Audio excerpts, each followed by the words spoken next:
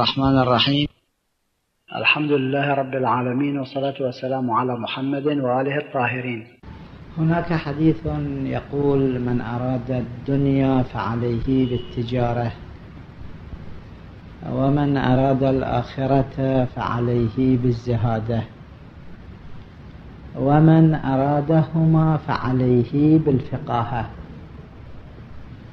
الشخص الذي يريد الدنيا التجارة. لأن تسعة عشر الرزق في التجارة.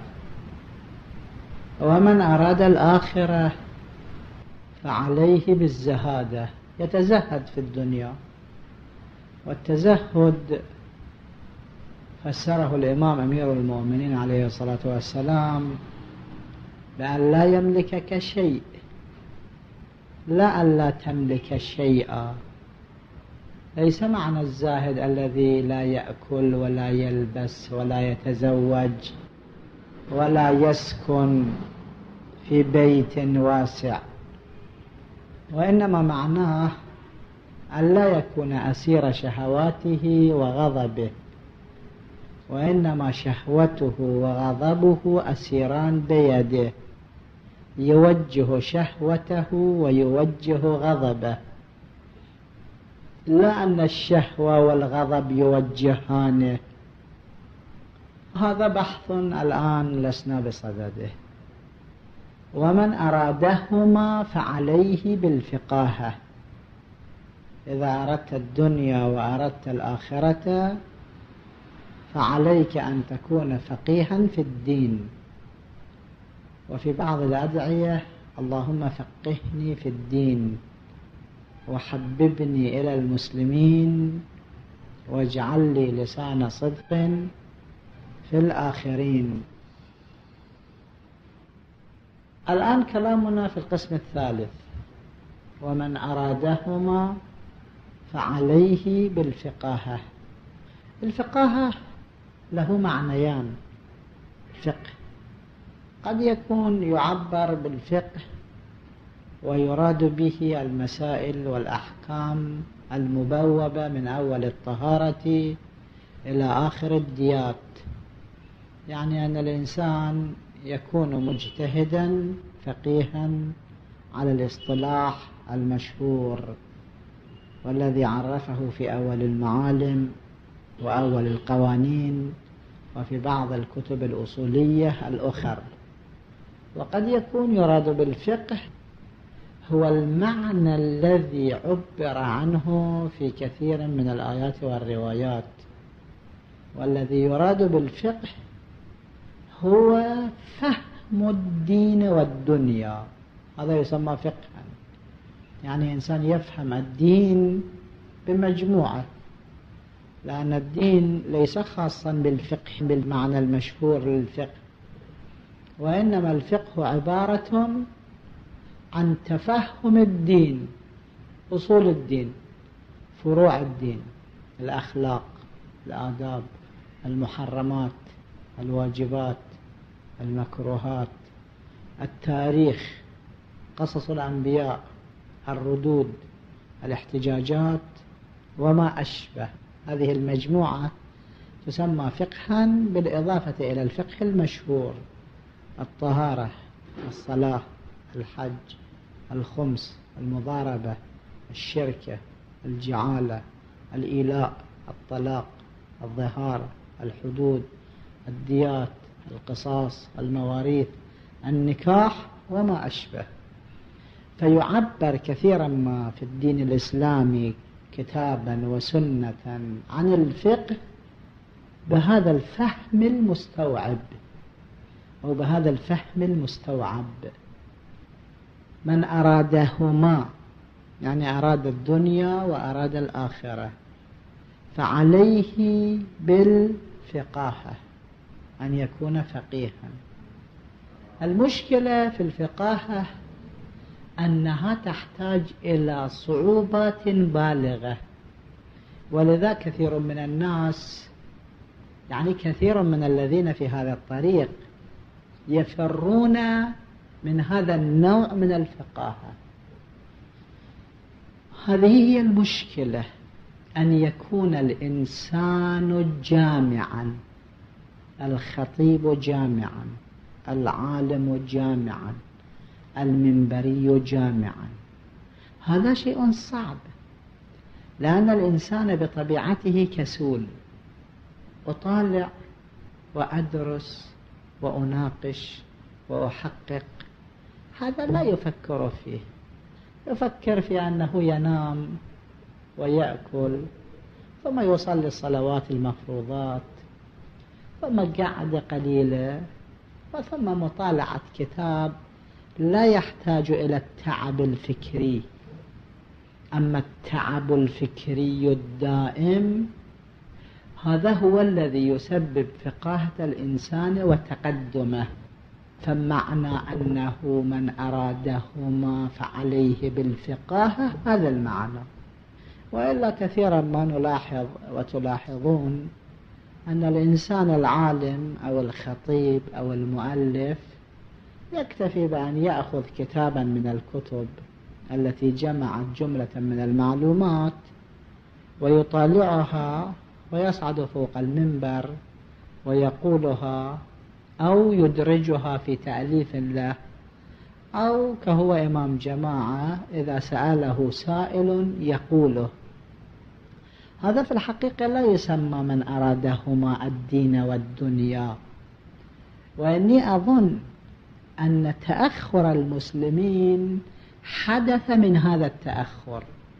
يعني تأخروا في الفقاهة تأخروا في فهم الدين وفهم الدنيا. ولذا أناس لا يفهمون الدين والدنيا وأناس يفهمون الدنيا وهم الغربيون والشرقيون يتقدمون عليهم. لأن أقل التقدير هؤلاء نصف الفهم عندهم وهؤلاء ليس عندهم هذا الفهم. لذا أولئك تقدموا على هؤلاء. والدين إنما تقدم يوم تقدم لأنهم كانوا يفهمون الدين والدنيا. الدين والدنيا فهم أكثر. فغلب على الفهم الأقل وهو فهم الدنيا في عالم الأكاسرة والقياصرة المعروفة. في هذا الشهر ذهبنا كثيرا نحن إلى المجالس واستمعنا إلى مختلف الخطباء حفظهم الله المنبريين. حقيقة هذا نقوله منقدا لما استمعنا.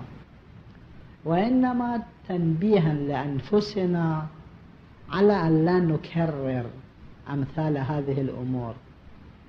كثيرا ما المنبر خال عن المحتوى. يعني منبر مكرر. وكثيرا ما قلت لبعض الأصدقاء حفظهم الله إن الجريدة إذا كانت مال قبل يومين لا نقرأها. فكيف بموضوع سمعناه مئة مرة؟ وفي نفس الأثواب وفي نفس الهيكل وفي نفس الشكل. فمن الطبيعي أن الناس يملون هذا اللون. ثم غير مستوعب للحياة. إنما المنابر غالبا أمر بمعروف والنهي عن منكر والصدق والأمانة والحجاب والصلاة والصوم وترك شرب الخمر وحسن الخلق. وهذا كرر. ولنا الحق في أن نكررها حتى مليون مرة مو حتى مئة مرة. لكن لاحظ القرآن الحكيم إذا كرر القصة كل مرة يكرر القصة في جانب أخرى من القصة. يعني قصة موسى كررت في القرآن الحكيم لكن في كل مناسبة فرد جانب من القصة. جانب لقائه مع فرعون جانب لقائه مع شعيب جانب قتله القبطي جانب فراره جانب عبوره من البحر جانب كونه في التيه. جانب تكلمه مع قارون جانب ذهابه إلى التكلم مع الله جانب ذهابه للتكلم مع الله وأن قومه طلبوا منه الرؤية وجانب وجانب وجانب وجانب وجانب. قصة واحدة. وتكرر لكن تكرر أجزاؤها. مو تكرر كل القوالب وكل الموازين. هذا نقص جدا كبير. وهذا هو النقص الذي ينفر الناس. وهذا هو النقص الذي يسبب أن يروا الناس في المنابر شيئا مكررا وإذا رأوا شيئا مكررا لا يحضرون المنبر. لنفرض أنه مثال. قيل لكم أكبر الخطباء مثلا. حضرتم منبره. وذكر لكم أجمل القصص التي ما كنتم سمعتموها. حسنا. الليلة الثانية الخطيب أعلن فوق المنبر وقال إني في الليلة الثانية أكرر نفس المطلب. هل تحضرون منبره؟ لنفرض حضر منبره نصف الجماهير مال الليلة البارحة. هذا صحيح. ثم إنه في الليلة الثانية أعلن أيضا أكرر نفس المطالب. في الليلة الثالثة كم يحضرون منبره؟ لابد من عشرة آلاف يحضرون منبره ألفين وثلاثة آلاف أو ألف أو مئة أو الذين يأتون لأجل القربة ولا أجل الشاي ولا أجل الأكل. شيء واضح؟ هذه مشكلة يجب علينا رفعها ورفع هذه المشكلة لا يكون إلا باستيعاب العلوم. الحقيقة لاحظوا هل نحن نطالع الكتب الوزينة التي لها ثقل. نطالع مقالات المفيد. نطالع الذريعة للسيد المرتضى. نطالع الشافي للسيد المرتضى. نطالع المجازات النبوية للسيد الرضي. نستوعب أقل تقدير مطالب نهج البلاغة. نستوعب مطالب الذي ذكره العلامة في نهج الحق. كتب الأصولية يعني أصول الدين. والمقدس الأردبيلي في كتابه الحديقة أو حديقة الشيعة أو المجلس في البحار أو غيره في غيره. نطلع هذه الأمور. ونحل المشاكل أو منابر مكررة.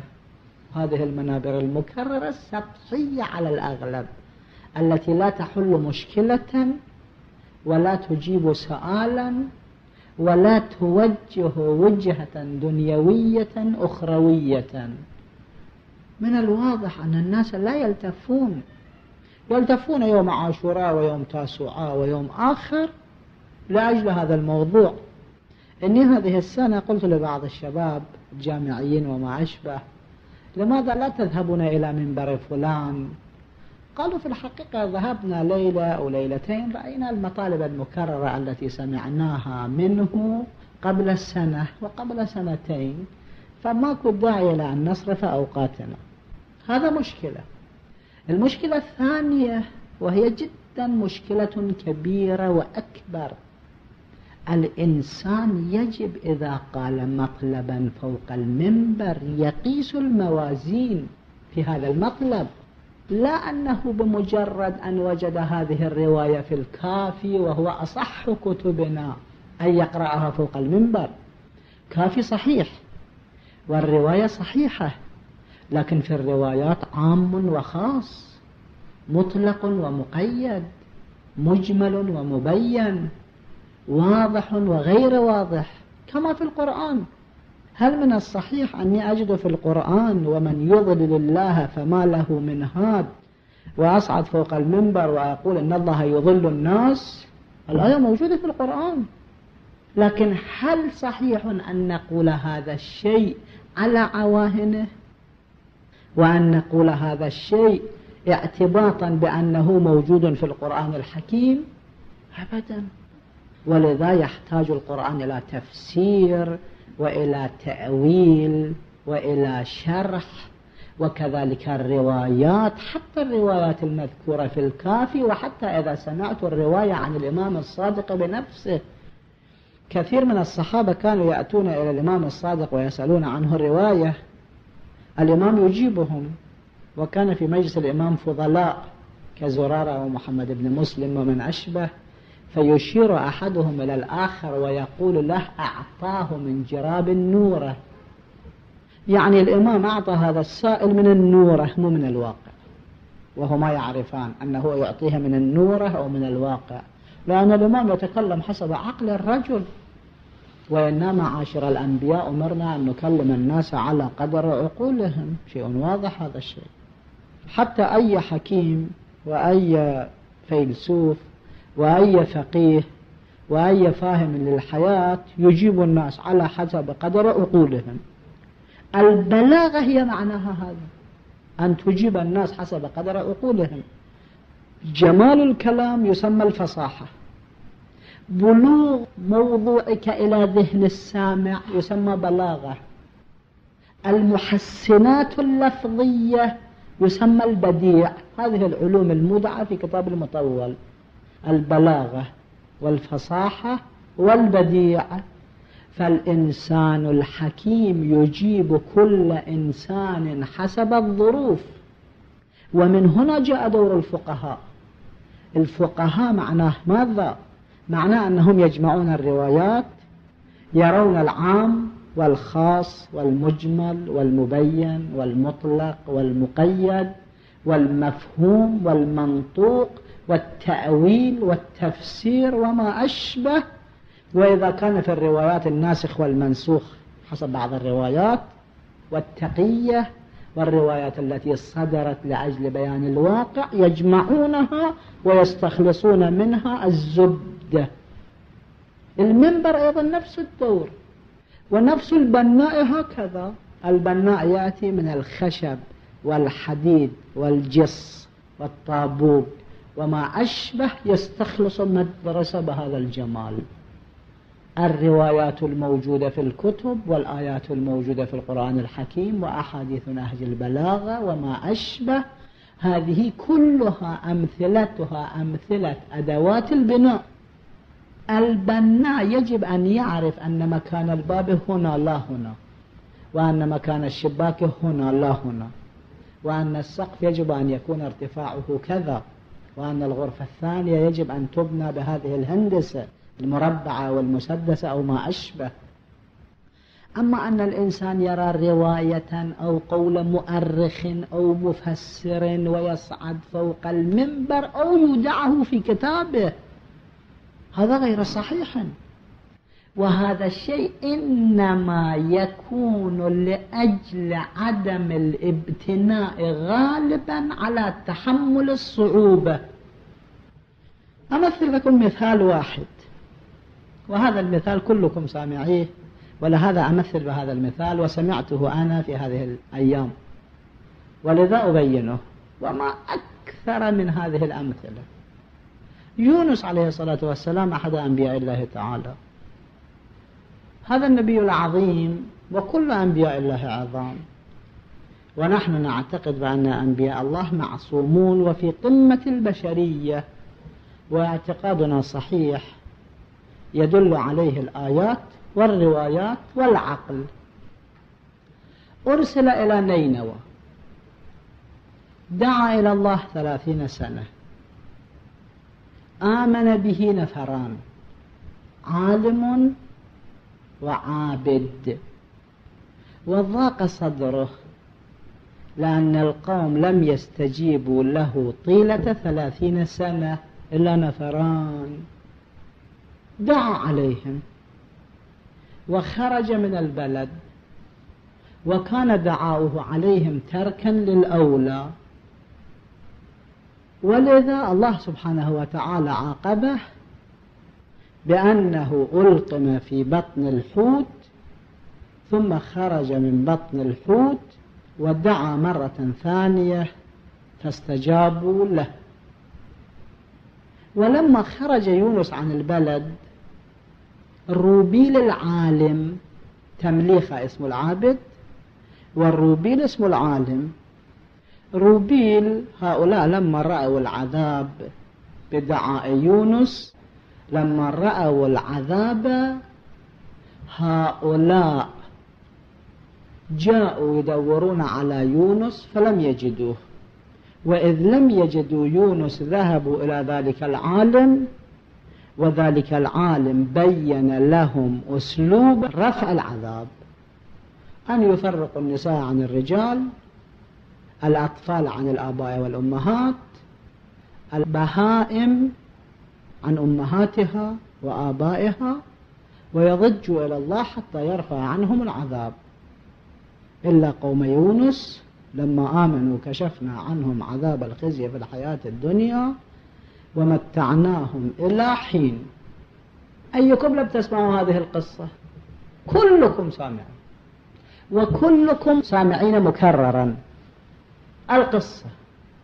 لكن تعلمون هذه القصة كم هي فيها محل إشكال؟ وأن أي عاقل يستشكل على هذه القصة؟ ما هي الإشكال؟ الجواب. الإنسان اللي ينظر إلى القصة عادية كما سمعناها ورأيناها وحتى فيها بعض الروايات أيضا قصة كما ذكرناها بحجمها وبهيكلها العظمي بلا حواشي وزوائد وتعليقات. يونس عليه الصلاة والسلام لما ادعى على قومه بالعذاب هل كان دعاؤه حقا أو باطلا؟ سؤال. دعا على قومه بالعذاب على مائة ألف أو يزيدون يموتون. هل هذا الدعاء حق أو باطل؟ إذا كان الدعاء باطلا فهل النبي يدعو باطل؟ وثم يدعو لعبادة مئة ألف إنسان؟ إذا كان دعاؤه باطلا هل الله يستجيب الدعاء الباطل؟ الله يستجيب دعاء الباطل حتى يرسل العذاب ويخرق الكون لأن العذاب معناه خرق النواميس الكونية. هل هذا صحيح؟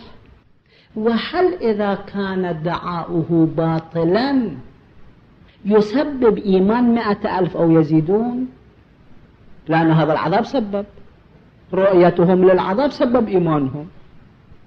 ثلاثين سنة يونس آمن به نفران أما برؤيتهم للعذاب آمن به مئة ألف أو يزيدون. إذا كان دعاؤه باطلا أولا النبي لا يدعو بالباطل. ثانيا الله لا يستجيب الدعاء الباطل. وثالثا لا يكون الدعاء الباطل سبب إيمان مئة ألف أو يزيدون.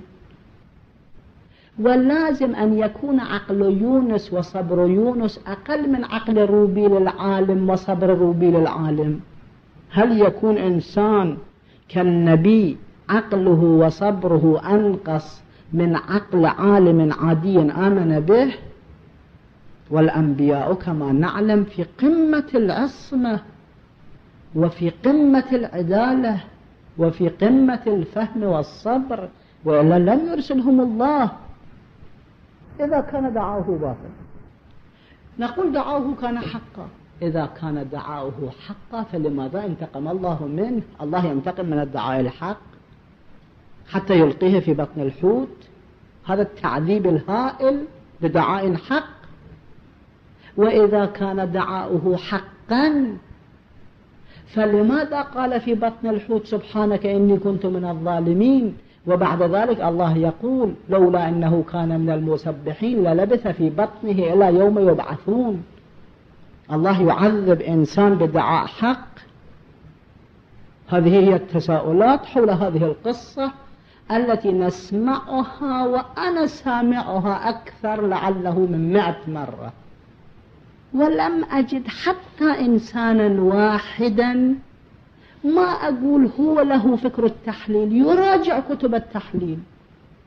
حتى يقول القصة بما لا ينافي جلال الله ولا جلال أنبيائه. وإذا قلت هذا لإنسان إما يجيبك يقول أكو رواية في الموضوع. أكو رواية في كل شيء أكو رواية. روايات فيها عام وخاص ومجمل ومبين ومطلق ومقيد وناسخ ومنسوخ حسب رواية وفيها تأويل وتفسير. وفيها ما صدرت تقية وفيها ما صدرت واقعا وفيها ما صدرت بقدر عقل ذلك الإنسان وفيها ما صدرت لأن ذلك الإنسان كان عقيدته كذا. جاء يهودي إلى علي عليه الصلاة والسلام يستفسره عن أول شجرة نبتت على الأرض. الإمام قال له عندكم هذه الشجرة لكن عندنا شجرة أخرى. حسب عقله أجابه. لأنه إذا كان يجيبه الإمام حسب عقلية نفسه هو كان يقول هذا اشتباه وخطأ الإمام النبي العالم الواعي هذا يجيب الناس على قدر عقولهم وعلى حسب الظروف يجيب الناس. مو أنه يجيب الناس على خلاف الواقع اعتباطا. هذه القصة وعشرين قصة أخرى قصة موسى وقصة عيسى وقصة نبي الإسلام وقصص متعددة مذكورة في القرآن الحكيم. هذه القصص تقال وإنما عن كتاب فلان بغير ملاحظة. ملاحظة المحاذير ملاحظة الإشكالات وحتى أحيانا الإنسان الذي يقول القصة لا يلاحظ أنه ينافي جلال النبي وينزل النبي عن إنسان عادي ينزله. القصة وإني الآن لست بصدد التفصيل قلت وإنما أشير إلى الجواب إشارة عابرة. قصة يونس ذكرت في القرآن مكررا لكن جوانب من القصة. ومنها ذكرت في القرآن في سورة الصافات بسم الله الرحمن الرحيم وإن يونس لمن المرسلين. إذ أبق إلى الفلك المشحون فساهم فكان من المدحضين فالتقمه الحوت وهو مليم فلولا أنه كان من المسبحين. للبث في بطنه إلى يوم يبعثون. فنبذناه بالعراء وهو سقيم. وأنبتنا عليه شجرة من يقطين. وأرسلناه إلى مائة ألف أو يزيدون. فآمنوا فمتعناهم إلى حين. لاحظ القصة؟ في نفس القصة جواب أكو عن كل هالإشكالات. وإن يونس لمن المرسلين. إذ أبق إلى الفلك المشحون. أبق يعني هرب. هرب إلى الفلك المشحون بالناس. إذ أبق إلى الفلك المشحون فساهم قرعة جاء حوت كما في التفاسير واعترض السفينة والحيتان تعترض السفينة إلى اليوم. هؤلاء رأوا أنه لا علاج لهم إلا بأن يعطوه شيئا فأقرعوا لمن يلقون في البحر خرجت القرعة باسم يونس فألقوه في البحر فأكله الحوت. فالتقمه الحوت وهو مليم يعني يليم نفسه أو يليم قومه ما من الملامة. فساهم فكان من المدحضين. مدحض يعني ملقى أدحضه يعني ألقاه. فساهم فكان من المدحضين. فالتقمه الحوت وهو مليم. فلولا أنه كان من المسبحين يعني في بطن الحوت للبث في بطنه إلى يوم يبعثون. فلبذناه بالعراء يعني صحراء وهو سقيم. وأنبتنا عليه شجرة من يقطين. بعد ذلك شنو؟ وأرسلناه. إرسال بعد كل هذا مو قبله وأرسلناه إلى مئة ألف أو يزيدون. أين في الآية الإرسال قبل؟ وأين هذه القصة الطويلة العريضة العميقة التي إما ينافي جلال الله أو جلال نبيه؟ بعد ذلك يقول وأرسلناه إلى مائة ألف أو يزيدون. إرسال كان بعد. مو أن الإرسال قبل وعقله أقل من روبيل ويغضب ويخالف الله في الدعاء على قومه بدون استشارة الله. هل هذا حديث صحيح؟ حتى إذا رواية في الموضوع روايات عامة أكو على طبق هالقصة الموجودة والتي قرأتها. في رواية أكو ممكن من أحد الرواة في محضر عامة الإمام قال ذلك الشيء حسب قوله كما في كثير من الروايات هكذا. شوفوا الله ينقل القصة كله بعدين يقول وأرسلناه إلى مائة ألف أو يزيدون. بعد ذلك يقول أرسلناه إلى مائة ألف. إني أردت الإيجاز بطبيعة الحال والتنبيه فقط. حتى نرجع إلى ذاكرتنا ونرى كم من هذه الأمور تنتشر بين الناس. المنبر أحسن جهاز للتوعية. لكن كيف التوعية؟ حقيقة تراجعوا في حوزة جمعيتها ألف إنسان. راجعوا شوفوا كم منهم أقلا لاحظ كتاب تنزيه الأنبياء لسيد المرتضى. أقلا هذا الكتاب. والذي ألفه قبل ألف سنة. كتاب صغير يحتوي على مائتي صفحة تقريبا بس تنزيه الأنبياء. هذه الأمور المذكورة والمشتهرة وأغلبها عن العامة. والعامة حيث لا مصادر لهم أغلبهم أخذيه عن الإسرائيليين. هم في كتبهم يقولون إسرائيليات وصحيح يقولون. هم عندهم إسرائيليات. لأن وهب بن منبه كعب الأحبار ومن أشبه من هؤلاء. هؤلاء مصدر أكثر القصص الواردة في كتب السنة قصص الأنبياء. ثم أبو هريرة ثم المجاهد والشعبي وراجعوا تاريخ هؤلاء. بعضهم من النواصب مو أنه من السنة فقط أن المؤرخين يذكرون أنه كان شديد العداء لعلي وأهل بيته. هؤلاء المفسرون. صحيح أن الشيخ الطبرسي في مجمع البيان ينقل عنهم لكن الشيخ الطبرسي راجع زمانه كان مجبور يتكلم هكذا ويؤلف هكذا. يأتي بكلام الإمام الصادق إلى جانبه كلام أبي هريرة ويأتي بكلام علي وبكلام عمر وبكلام عثمان وبكلام عائشة في صف واحد. لأنه كانت زمانه يقتضي هذا الشيء. لا معنى ذلك أني إذا وجدت رواية في كتاب هذا الشيخ الجليل مجمع البيان أقول صحيح. فيه الصحيح وفيه غير الصحيح. وهو ما كتبه حتى أن كل صحيح فيه ولم يلتزم بهذا الشيء. وكذلك شيخ الطائفة في الخلاف.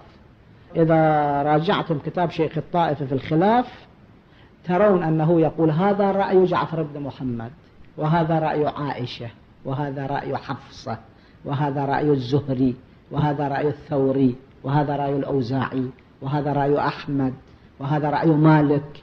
وهذا رأي فضل بن شاذان وهذا رأي صفار. في أي مسألة؟ الخلاف عندكم في هذه المكتبة. تجدون أنه يأتي بآراء كلهم الخلاف لشيخ الطائفة. وكذلك العلامة في كتابه التذكرة تذكرة الفقهاء عنده ومختلف الفقهاء عنده. في كلا الكتابين يأتي بكل الآراء للعامة والخاصة. للشيعة للأمة الزيدية للأمة الظاهرية للأمة المذاهب الأربعة المشهورة يأتي بكل الآراء. ثم بعضهم ينتخب وبعضهم لا ينتخب. مجمع البيان لا ينتخب بالنتيجة. يقول وهو المروي عن الباقر والصادق. أو وهو المروي عن أبي هريرة. لكن المختلف والخلاف والتذكرة أخيرا ينتخبون. يقول هذا رأينا ودليلنا كذا. إننا في الحقيقة إذا اقتنعنا بالسطحيات لا دين ولا دنيا. لا وجهنا أنفسنا ولا وجهنا غيرنا وإنما حشونا أذهان غيرنا بأشياء غير صحيحة وبأشياء تنافي جلال الله وجلال أنبيائه. وهذا يحتاج إلى التعب إلى النصب. نحن كنا في كربلاء نباحث مع جماعة من الأصدقاء مصابيح الأنوار في حل مشكلات الأخبار لسيد عبد الله الشبر. ثلاث مجلدات أو أربع مجلدات هذا الكتاب. باحثنا بحث. في الحقيقة هذا الكتاب وأن يوصل الأصدقاء بمطالعة هذا الكتاب ومباحثة هذا الكتاب وأكثر من المباحثة. يحتاج إلى الدراسة. لأنه يحل المشكلات في الأخبار. أحيانا الإنسان يسمع فوق المنبر صديق يقرأ أحاديث الطينة ويفسر أحاديث الطينة بأنها هي التي توجه الإنسان. وإذا كانت الطينة هي التي توجه الإنسان فما فضل المؤمن؟ وما ذنب المجرم؟ هذه الأحاديث كلها لها جمع لأن حضارة وراء هذه الأحاديث حضارة. لنا نحن المسلمين حضارة علمية وحضارة عملية. الحضارة العلمية عبارة عن هذه الجمهرة الهائلة من الروايات. فلتكن أنت بناء وليكن الفقيه بناء وليكن الخطيب بناء ومهندسا يعرف ماذا يضع في أين يضع. أحيان كثير الفقهاء يجدون الرواية فيها فقرات يقولون هذه الفقرة غير صحيحة هل ثلاث فقرات صحيحة؟ مو هالفقرة مو صحيحة. هذا هو معنى البناء. لأن البناء يجب أن يأخذ من هنا وهنا وهنا وهنا حتى يبني مدرسة رائعة. فلا لا يكون بناء. نحن بحاجة إلى هذا الشيء وهذا الشيء يحتاج إلى التعب في الحقيقة يعني أنت تريد مطالعة تنزيه الأنبياء أو مصابيح الأنوار في حل مشكلات الأخبار أو البيانات في الحقيقة بيانات ملا محسن الفيض. في كتابه الوافي وفي كتابه الصافي أصفى من الذهب. يعني قمة الفهم. في أقول أقول لأن عنده أحيانا هو أقول. أو بيان يقول. في الوافي وكذلك المجلس عنده بيانات في بعض الروايات يقول بيان. أشياء جميلة حل لمشكلات فهم لخصوصيات جمع لكلمات بناء مجمله بناء. أما الإنسان يرى رواية ضعيفة أو تاريخا ضعيفا أو شيئا في كتاب من العامة أو غير العامة ويظن أن هذا الكتاب هو الصحيح ويقول فوق المنبر أو في المجلس. رأيت أحد الأصدقاء مجلس خاص قال في الحقيقة هو في كلامه. قال في الحقيقة أن عندي إشكالين على نبيين وهو إنسان أكثر فرضه أنه يتمكن من فهم المعالم. وإن كان عمة وهيكل وجبة عندي إشكالين على نبيين لو رأيتهما لقلت لهما. ولعل أحد أصدقاء المجلس أيضا كان حاضرا. يوم قال. جماعة قاعدين قال إشكال على يعقوب وإشكال على يوسف. أما الإشكال على يعقوب يا يعقوب أنك تعلم أن ولدك حي فما هذا البكاء؟ ولا نتمكن أن نحمله إلا أنه قد شاخ. شاخ يعني شنو؟ إن الرجل لا يرجل يعني خرج أقول منتهى قوته باستثناء هيكله ومكانته الاجتماعية أنه يفهم المعالم. وأما إشكالي على يوسف يا ولد لماذا ما كتبت إلى أبيك أني في مصر حتى لا يبكي هذا البكاء؟ وبين مصر وبين كنعان مسافة قليلة والناس يذهبون ويرجعون. عقلية. من هذا القبيل وهو يعد نفسه عالما ويخطب فوق المنبر ويعد نفسه فقط لا هذا ولا هذا وإنما يعد نفسه إماما. يعبر عن نفسه لإمام في إمضائه أو في كارته. هل هذا عقلية؟ نبي من أنبياء الله عظيم ومعصوم. لأن هذا ما تجشم حتى يطالع البحار. هذا الكتاب الذي بعضهم يقولون عنه كتاب عادي. حتى يعرف أن هذين الإشكالين محلولان قبل ألف سنة. المهم في المنبر في المحراب. هذه مو مهمة منبر وحتى مهمة المحراب. لأن المحراب أيضا معرض للأسئلة. ويأتي السؤال ويسألون. المهم في المنبر وفي المحراب وفي المجتهد وفي المؤلف أن يلاحظ ماذا يقول وكيف يوجه. وهل حقيقة هو تجشم الفهم؟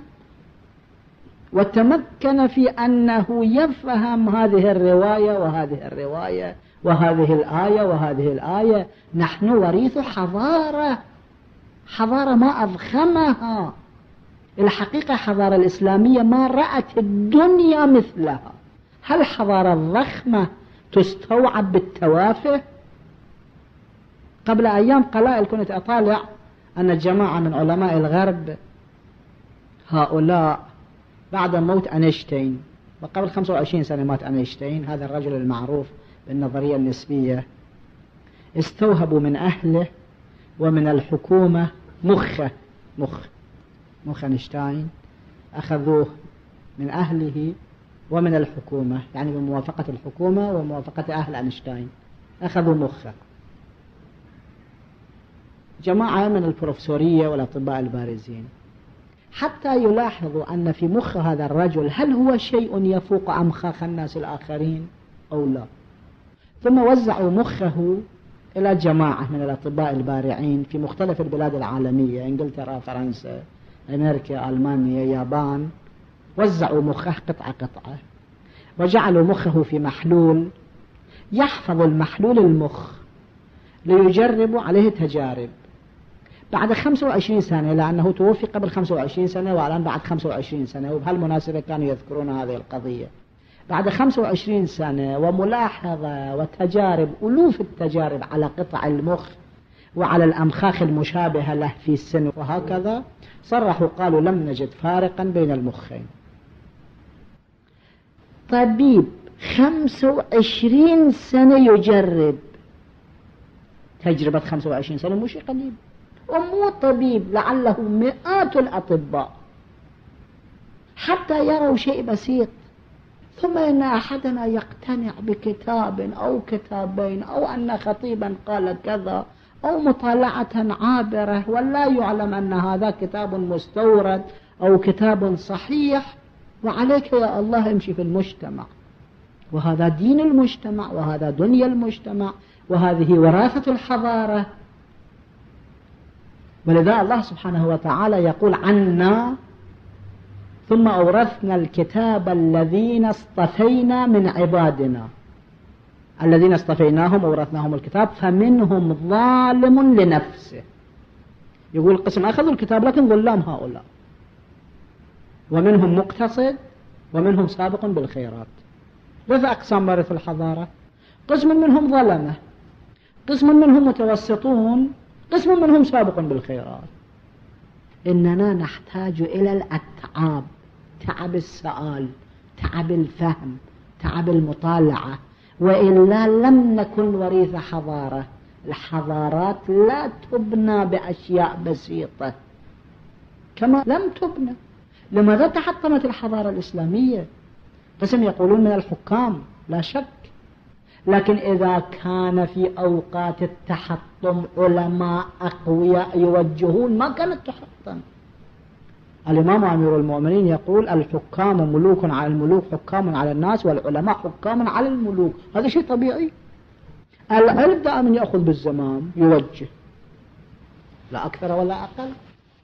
لماذا في كل العالم دع عن بلادنا؟ لماذا في كل العالم السيطرة والقوة الذرة والصاروخ؟ والقمر الصناعي. هؤلاء الذين بأيديهم من الضباط والجنرالات هذول الطبقة الثانية في المجتمع. فوقهم الطبقة السياسيين. لماذا؟ مع العلم قوة بأيدي هؤلاء.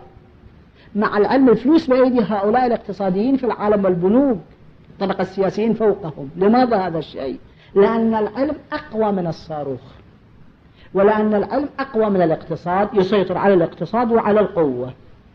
هو جنرال وبيده كل شيء لكن السياسي أكبر منه. هذا هو العالم شيء طبيعي. الآن هم إذا أردنا أن نرجع حضارة الإسلام الطريق هذا طريق العلم. وكما ذكرنا في الحديث الأول من أراد الدنيا فعليه بالتجارة. ومن أراد الآخرة فعليه بالزهادة. ومن أرادهما فعليه بالفقاهة. ونسأل الله التوفيق لما يحب ويرضى. Mm-hmm.